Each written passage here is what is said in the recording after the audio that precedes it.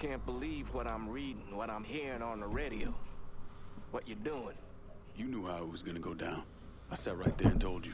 Maybe I'm just realizing there's a difference between hearing about something in the abstract and seeing it splash across the front page in a newspaper. I didn't think I'd go through with it. I... I don't... No, I knew. I knew as soon as you regained consciousness. I could see it. So what's the I fucking problem you and I see who you were. A little boy who didn't have much, but who also wasn't angry about it. A little boy who shared, who laughed, who who just enjoyed being. I wonder what happened to him. He finally realized how things work. Yeah, all his friends got killed. Is Family. that So, How many times was the orphanage vandalized by rednecks? How many times do we have to drive around asking restaurants for their leftovers because we didn't have nothing else to eat?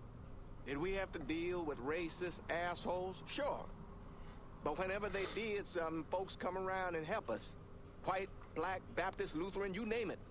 You know how all you boys got new jackets on Christmas? Those came from an old white woman, a Calvinist.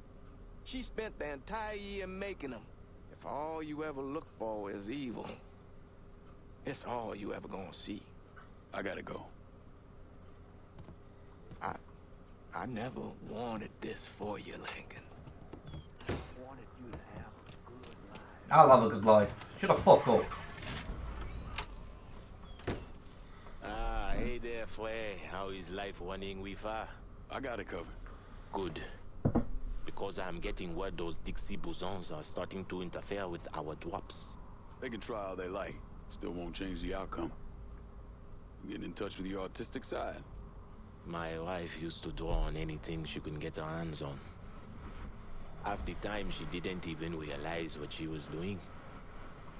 And yet every stroke was perfection. She's still back in Haiti? Yes. It is where she is buried. Yes, we Yeah. all had our share of losses. Our losses, Frey, are nowhere near the same. I'm just trying to turn the page, set things right with you. And you think comparing the deaths of our loved ones will do that? Papa Punch him in the face! Roger trying to locate me. He had the Tonton Macoute plunging my children to death in order to save bullets. When I last saw my wife, her eyes had ruptured from the electroshock. My little boy, his face was caved in. And my little girl, she had been hit so hard she was decapitated. They were faultless. So you and me, Frey, we are nothing in common. Marcano is an evil man. In that there is no question. But just because an evil man kills, it does not mean his victims are innocent. Innocence ain't a thing that exists around folks like us. At least not for long. Hell, I'm not even sure I know what it looks like anymore. I used to. Moss. But the bloodier I get, the quicker that picture fades. But that's not important right now. Important thing is getting our weed back from the Dixie Mafia. A large shipment of marijuana is at this dock. Get it and bring it back. Not worth as much money, but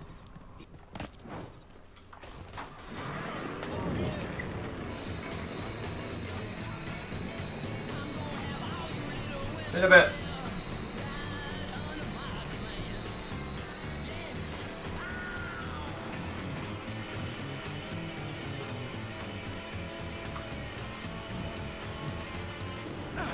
Oh my god!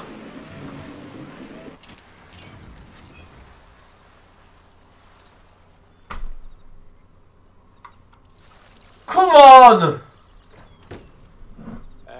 Look at who decided to stop by. Thought you forgot about me? Running weed takes time. That it does, Fred. Can't imagine what it must have been like running people. How many folks you think you got out of Haiti? I only remember those I could not save. Bullshit. When I was in country, once in a while we get a chance to evacuate a village before the napalm dropped. Wasn't our SOP, but we still did it. Had a couple close calls when the bombers showed up early. But I remember every single face. So how many were there? 43? Should have been more, but some folks didn't trust us. Thought we were gonna march them into a shallow grave. Still remember the fear in their eyes. Nothing motivates quite as well as fear. Not a damn thing. So how would it?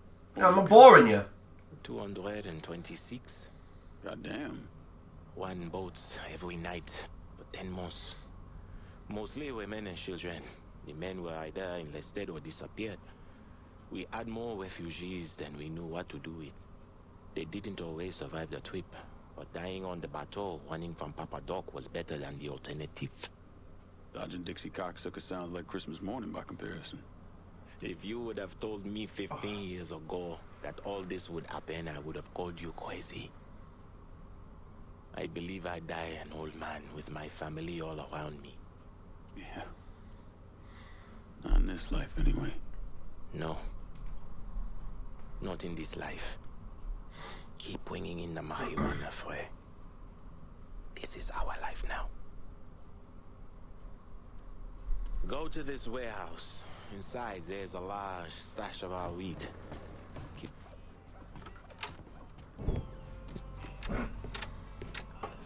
Thanks for earlier. My old man used to be whip smart. If anyone tried to pull some shit on him, he saw it coming a mile away. Now, fuck. Now he barely knows the goddamn day of the week. Said you could use some help. Some of our boys are down in the bayou. If you could get the shine from them and bring it back, it'd make my life a lot easier. Bayou ain't exactly my favorite place in the world. Come on now, the redneck assholes that live down there just love it when black folks drop by for a visit.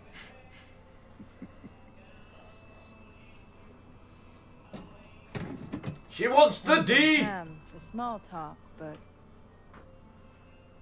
where you at with all this?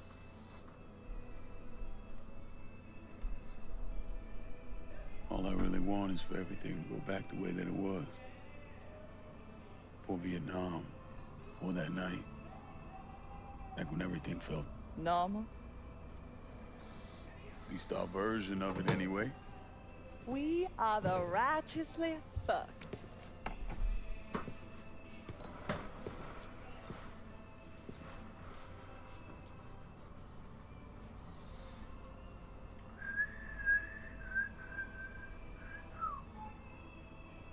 Danny. Was he in any pain? Did he suffer? Don't. Ain't nothing good coming from that. Who says I need good to come from it? Giorgi shot him in the head. Looked like he went pretty quick.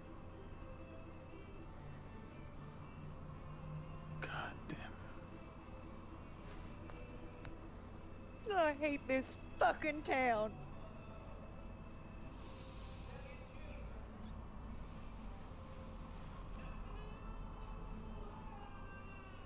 I better go. Yeah. Okay.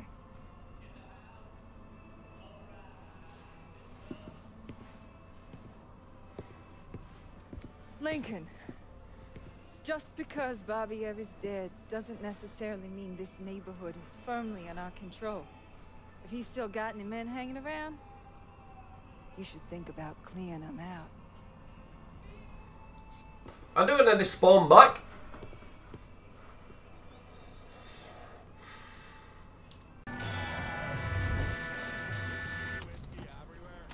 Gotta drop the drink.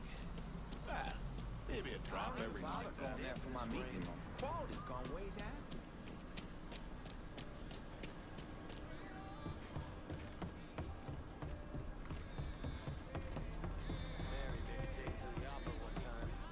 Beaucoup bon, bro.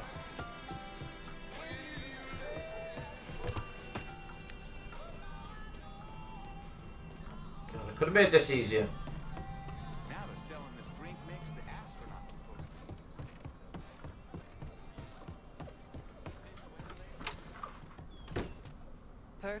Timing. I was just about to have lunch. How'd it go? Fast cars and shine. Was not to like.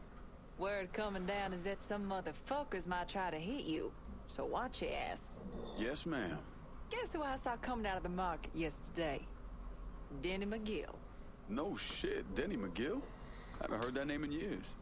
Fucker's married. Four kids. Oldest Rachel is six. Damn. You imagine having four kids right now? Not without there being some kind of ransom involved. Every time I run into folks like him, they start asking me when I'm settling down, when I'm gonna have a family. It always makes me feel like I don't belong. Like there's something wrong with me. Ain't nothing wrong with you. Hell, look at me. Never knew my parents, don't know a damn thing about who I am or where I came from. That hadn't stopped the world from deciding for me. Keeps finding people who don't give a fuck about any of that. Like when you and me are kicking back, shooting the shit. We just cool. Well, I'm cool. You, on the other hand, are a pretty big fucking dork. A dork. What are you, 12? Well, shit, those were the days. I could get shit-faced at night and still ace a math test the next day. Listen, Lincoln, there's... Never mind. It can wait. Don't worry about what Denny McGill thinks. Fuck him. Yeah. Fuck him. Be careful out there. Danny fancied himself a race car driver, and he was damn good at it too. But he hated these runs. Thought they were a giant bore. He took care of that problem by setting up races between the moonshine pickups and drop-offs. Stupid bastard always had to make things harder than they needed to be. Guess that's what they really mean by the luck of the Irish.